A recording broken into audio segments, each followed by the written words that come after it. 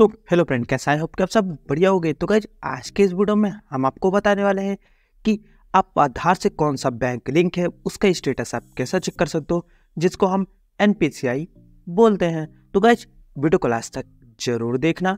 अभी तक आपने चैनल को सब्सक्राइब नहीं किया है तो चैनल को सब्सक्राइब ज़रूर कर लेना और वीडियो पसंद है वीडियो को लाइक ज़रूर कर देना। चलिए वीडियो करते स्टार्ट नमस्कार दोस्तों, मेरा नाम है सोनू और आप सभी का हमारे यूट्यूब चैनल पर बहुत बहुत स्वागत है। तो आपको करना क्या होगा? कोई ब्राउज़र ओपन करना है और आपको यू आई डी आई या आपको सर्च करना है। पहले आप क्या सर्च करते थे? एन पी सी स्टेटस तो आप सीधा लिंक लिंक जाती थी, आप वहाँ चेक कर लेते तो बट वो लिंक बंद कर दी गई है। ठीक है? वो लिंक जो थी, वो बंद कर दी गई है। अब आपको दूसरी लिंक प्रोवाइड मैं कराने वाला हूँ। ठीक है गाइज़ तो आपको यू आई डी आई की ऑफिशियल वेबसाइट पर आना है। उसके बाद आपको यहाँ पर इस प्रकार का इंटरफेस देखने को मिलेगा। ठीक है? आपको यहाँ पर गैस पूरे हार आप इसकी छान जब मारोगे तो आपको कहीं भी देखने को ये नहीं मिलेगा आधार सेडिंग स्टेटस।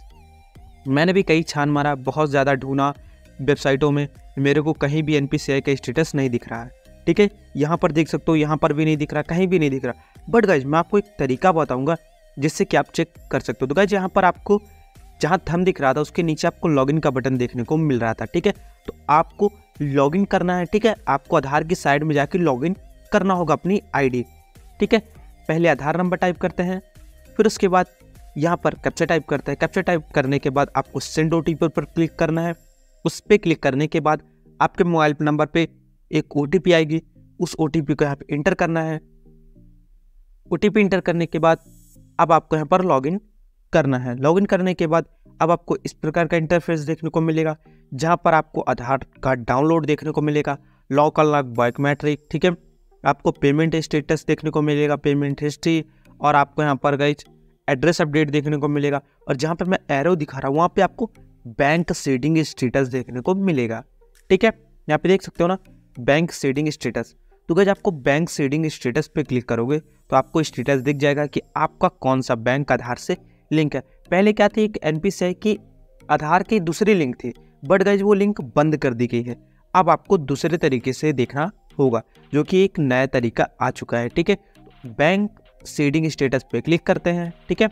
उस पर जैसे क्लिक करेंगे, देख सकते हैं, अब आपको बता दिया है कि आपका कौन सा बैंक लिंक है, जैसे State Bank of America active है 2017 से, हमारा इंडिया नहीं, हमारा इंडिया मतलब अमेरिका हम इसको बोलते हैं, स्टेट बैंक ऑफ़ अमेरिका, ठीक है? उसके बाद बैंक सेटिंग स्टेटस पर फिर से क्लिक करते हो तो गाइज़ देख सकते हो, यहाँ पे मेरा एसबीआई लिंक है, ठीक है? आधार नंबर जो है लास्ट का चार डिजिट दिखा रहा है, वो देख सकते हो आप। ठीक है? स्टेटस क्या है? इसका एक्टिव है कि इनएक्टिव है? तो गाइज़ एक्टिव है, कोई भी दिक्कत नहीं होने वाली है। ठीक है? अब लास्ट अपडेट डेट क्या है? कब लिंक किया गया था? तो चौदह एक 2017 को हमारा बैंक लिंक किया गया था। तो गज इसी प्रकार से आप भी अपना चेक कर सकते हो कि आपका कौन सा बैंक आधार कार्ड से लिंक है। तो गज बहुत आसान था चेक करना। अब तो आपसे बनने लगा। अगर बने तो वीडियो को लाइक कर देना। अभी तक आपने चैनल को सब्सक्राइब नहीं किया तो चैनल को सब्सक्राइब ज़रूर कर लेना और वीडियो पसंद है वीडियो को लाइक ज़रूर कर देना। तो गाइज़ मैं आपको बता दूँ, आप वो जो पहले लिंक थी, वो लिंक बंद कर दी गई थी, ठीक है? अभी नई लिंक आई है। तो गाइज़ आप लॉगिन करके ही देख सकते हो। अगर आप लॉगिन नहीं करोगे, आप वही लिंक के पीछे पड़े रहोगे तो आप नहीं चेक कर पाओगे। इसलिए आपको चेक करने के लिए पहले लॉगिन करना है और बैंक सेटिंग स्टेटस में जाकर आप देख सकते हो कि आपका कौन सा बैंक लिंक है। तो गाइज़ चैनल को सब्सक्राइब ज़रूर कर लेना।